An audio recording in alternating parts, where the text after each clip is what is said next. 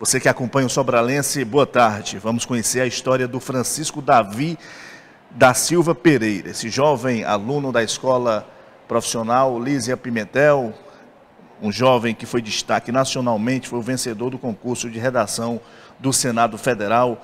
A gente vai conhecer um pouco da história do Davi. Você que acompanha o Sobralense, obrigado pela audiência. Eu gostaria de antes conversar com com o Davi, prestigiar os nossos anunciantes, Davi. A gente trabalha em nome da Lojas do Comerciante, que fica na rua Menino Deus, 632, em Sobral. Lá tem uma infinidade de equipamentos para você que pretende iniciar o seu próprio negócio.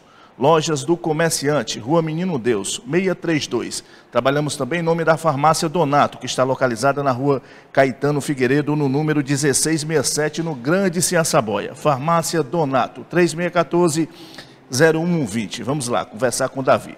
Davi, seja bem-vindo ao Sobralense, parabéns pelo, pelo sucesso, pela conquista, primeiro lugar no concurso de redação do Senado Federal. Primeiramente, eu gostaria que você se apresentasse para os nossos internautas, é de Sobral, é de qual bairro, filho de quem? Seja bem-vindo ao Sobralense.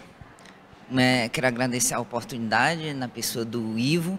É, bom, meu nome é Davi, eu moro na Meruoca, é, sou filho da Maria Giseudo e do Francisco Ivaneudo. E, assim, é, foi um, está é, sendo uma honra, assim, está sendo uma correria muito grande, um, é coisa surreal mesmo que está acontecendo nos últimos dias. É essa notícia de ter sido, é, primeiro, a notícia de ter sido o melhor do Ceará, e em seguida a notícia de ter sido o melhor do Brasil. Então, é assim uma notícia que enche muito de alegria. É, assim, estou transbordando mesmo de felicidade. Você está no terceiro ano do ensino médio. Exatamente. Terceiro ano do ensino médio, integrado ao ensino técnico, é, faço é, é, parte da turma de administração, inclusive mandar um abraço para todos os meus colegas de turma. Né? Pode falar um pouquinho sobre a sua trajetória escolar, Davi? Bom, eu comecei lá na Meruoca, né? É, ensino infantil, ensino fundamental e Estou agora aqui em Sobral, né, que é sinônimo para todo o Brasil de uma educação de qualidade, de uma educação que dá bons resultados. Né? Então a gente sabe que para um aluno ser destaque, a base tem que ser boa, né? Então, quero agradecer também a todos os profissionais de educação, aproveitar essa oportunidade que já passaram na minha vida, agradecer a todos eles. Vocês também fazem parte dessa conquista, vocês também têm uma parte nisso, nessa minha formação, a todos, todos mesmo, meu mais sincero obrigado.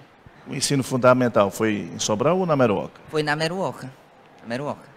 Escola passei pelas escolas Raimundo Rodrigues de Araújo e as escolas também lá na Meruoca, é, Henrique Severino Duarte. Inclusive, mandar um abraço para todos os funcionários, todos os professores que fazem parte das equipes dessas duas instituições também.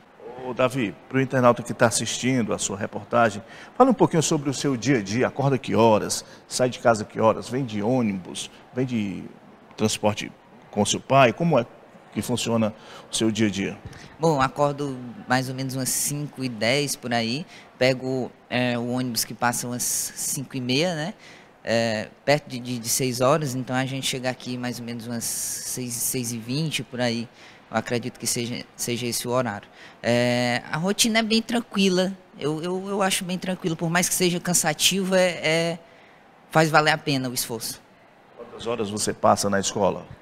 É, de 7 horas até as é, 4h35. Vai para casa, descansa ou estuda mais um pouquinho? Como é? Vou para casa, descanso, faço alguns trabalhos, né? Que eu também gosto de estar tá pesquisando, de estar tá melhorando ainda mais, me aperfeiçoando. Então, eu não gosto de ficar parado, não. Tem que seguir ali uma linhazinha e fazer um cronogramazinho para manter no, no ritmo. Quem quer crescer, quem quer aprender, tem que estar tá sempre procurando, sempre estudando. É assim? Exatamente. Não, que não pode ficar parado, porque ficar parado não vai para lugar nenhum, né? Tem folga, né, o Davi? Pode parar não, a gente tem que continuar seguindo, procurando sempre o melhor e alcançar os nossos objetivos, que eu acho que é o que vale. Tem quantos anos, o Davi? Eu tenho 17 anos. Me perdoe a pergunta, como é o, o seu dia, o final de semana, gosta de ir para a praça, tem uma namoradinha ou é só dedicado aos estudos? Eu gosto, eu gosto mais também de, de, de me aprofundar nisso aqui, eu, eu, gosto mais de realmente de focar. Então agora como nesse ano tem, é, nesse ano é, tem Enem, né? Então é decisivo, tem estágio também, a gente que faz, que está no terceiro ano, né? Então tem que focar mesmo, não perder o, o, o rumo não. Quem quer tem que focar, né, Davi? Deixa a namoradinha, deixa a brincadeira para depois. Você vai primeiro é, estudar, se formar e depois vem isso aí, né? O segredo é o foco, né? Se a gente não tiver foco, nada, nada a gente conquista. Então, assim, quero agradecer demais, né, essa oportunidade da gente estar tá falando e dizer, inclusive, à juventude sobralense, a toda a juventude que tiver que, que acompanhar esse vídeo, é, que o tema, aproveitar e falar sobre a redação. O tema da redação foi 200 anos de independência, lições da história para a construção da manhã. Então, um tema que tem tudo a ver, né? A gente sabe o momento que o Brasil está passando, dividido, muito ódio. Então, dizer à, à população que busque entender o que é está acontecendo. É, na minha redação, inclusive, eu trato sobre esse tema tratei sobre a passividade da população brasileira. Então, assim, o povo do Brasil é um povo que não pesquisa, que não busca é, é, é, votar no seu candidato por uma questão de, de projeto, busca votar simplesmente por identificação, porque ah, o cara da, da, da minha da minha é da minha é da minha igreja, eu vou votar nele. Ah, não, o cara é da minha, da, da, do meu time de futebol do bairro, eu vou votar nele. Ah, não, que eu acho ele bonito, ele é engraçado. Não, não, não pode ser assim. Então a gente tem que buscar levantar essa questão na população, de modo geral, que antes de votar, pesquise o passado do seu candidato, saiba como é, o que é que ele fez, de onde ele veio, porque não é assim. A gente sabe que se a gente aposta no erro, a gente está no nosso presente, a gente está prejudicando o futuro de milhões de pessoas em todo o Brasil. Muito bem, gostei da sua mensagem, ô Davi. O Davi, fale um pouquinho sobre a dinâmica desse, desse concurso, como foi que aconteceu? É, bem, o programa Jovem Senado é um programa do Senado Federal. Ele é realizado todos os anos e estava com dois anos que ele não era realizado em razão da pandemia, né? Então, nesse ano ele voltou e ele funciona mais ou menos assim. O que é, é essencial, o que é, tem que ser feito é, é, um projeto de redação, então o aluno tem total autonomia para criar sua redação, seu texto, e aí é indicado que haja uma etapa escolar. Né? Então, depois dessa etapa escolar, que cada escola que, que vai participar escolhe uma redação, é, ela é enviada para para a Secretaria do Estado, onde de lá vão ser escolhidas de todos os estados do Brasil, em cada secretaria vão ser escolhidas três redações para serem enviadas para o Senado Federal. E depois disso, a gente tem a etapa final lá, que é o Senado escolhe de cada estado uma redação para ser a campeã. Então, a gente tem o primeiro, o segundo e o terceiro lugar em cada estado, mas só vai quem está no primeiro lugar. E aí, depois, ainda tem uma outra rodada que uma, uma comissão avaliadora decide, dentre das 27 redações, dos 20, das 27 unidades federativas, qual delas é a melhor redação. Então, tem o primeiro, o segundo e o terceiro lugar dentre as 27. Olha aí, muito bem. Parabéns, Davi, mais uma vez. Gostaria que você deixasse aí uma mensagem para os jovens que estão lhe assistindo nesse momento. Bem, eu quero agradecer demais a oportunidade. Está sendo uma experiência assim incrível. Minha vida virou de ponta a cabeça mesmo. É ligação direta, é reportagem e, enfim, é, isso mostra justamente o que é que a educação pode fazer na vida de uma pessoa. Ela pode transformar a sua vida. Então, o meu recado é esse para a juventude sobralense, para a juventude de todo o Ceará que acompanhar, que assistir esse vídeo. Eu quero dizer que busquem os seus objetivos, corram atrás daquilo que vocês querem e os frutos eles virão. Porque se a gente plantar uma semente, né, e não regar, não cuidar, não adubar, aquela planta ela não vai para frente. Agora se a gente planta, cuida, aduba e nesse caso estuda, procura se especializar e vai atrás, a gente consegue colher bons frutos. Muito bem. O Davi, como foi que você recebeu a notícia? Francisco Davi da Silva Pereira foi o vencedor do concurso de redação do Senado Federal. Tenho a grata satisfação de anunciar os vencedores nacionais do concurso de redação do programa Jovem Senador de 2022. O primeiro lugar é do jovem senador Francisco Davi da Silva Pereira, representante do estado do Ceará, aluno do terceiro ano do ensino médio da escola Lísia Pimentel Gomes Sampaio Sales, de Sobral. Como foi que essa informação chegou até você? A primeira informação foi, hum, que, que era no caso a do, da escolha estadual, é, eu estava na sexta aula e a gente ia para a sétima, aí eu liguei o celular, porque eu já estava realmente bastante ansioso nesse dia, Aí quando foi na troca de professores, eu liguei o celular e tinha lá uma mensagem de um, uma funcionária do Senado Federal perguntando se não poderia ligar para falar sobre é, o projeto que eu tinha participado, que era do jovem senador. Aí, nesse momento aí, eu já fiquei meio desorientado, sabe? Porque eu já estava esperando, então, disse, meu Deus, será, será, será que é?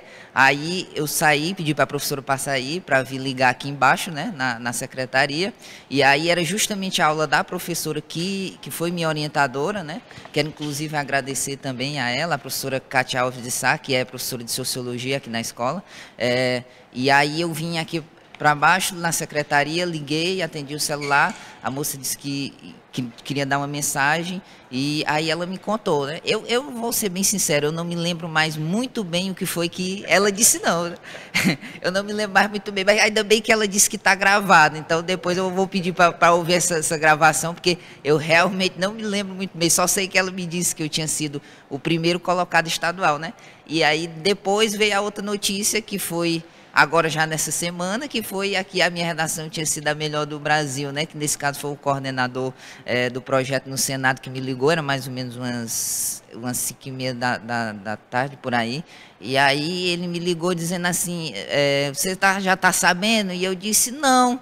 Aí ele disse assim, é porque nós temos uma notícia para você. Sua redação foi a melhor da nossa edição nesse ano. Aí eu também vou, vou ser bem sincero, não me lembro também mais de novo que foi que, que ele disse não, porque é, paralisa, é um sentimento assim que indescritível mesmo, a gente não tem como expressar senão, só, só recebe a notícia e vem ali o choque, né? De ficar, meu Deus, é verdade, é verdade. A vida mudou, né, Davi?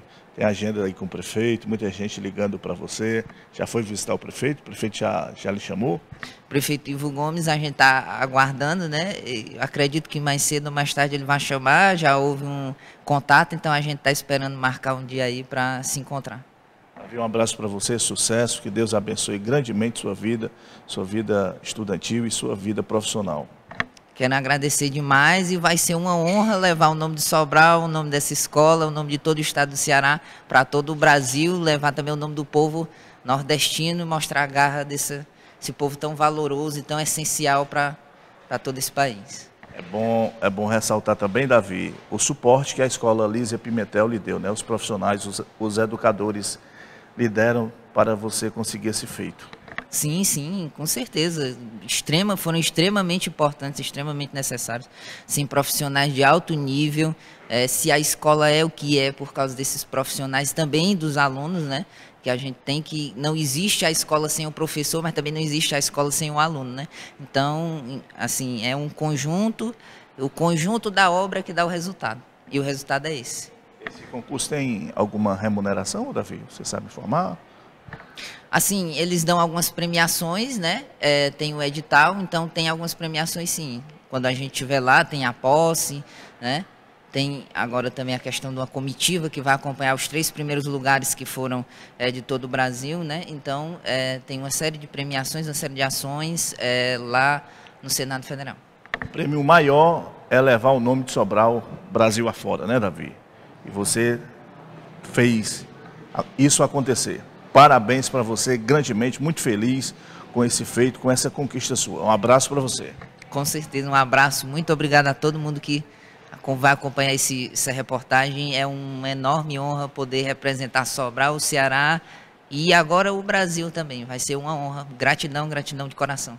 O nome dele é Francisco Davi da Silva Pereira. É sobralense.